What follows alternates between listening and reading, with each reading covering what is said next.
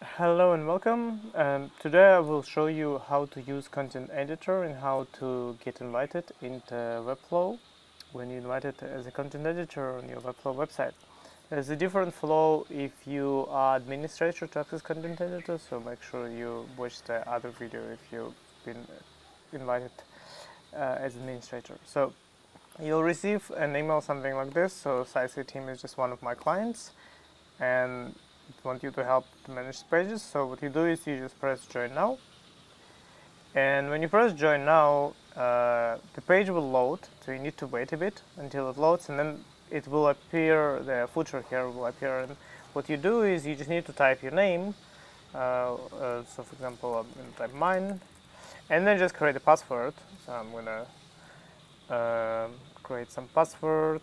That's something from my uh, the client, I think I'm just going to generate the password with one password and uh, then I press uh, join now and that essentially will create the account and so you see it will refresh the page and as soon as it refreshes the page you have this footer thing and now you can go and edit anything you want here.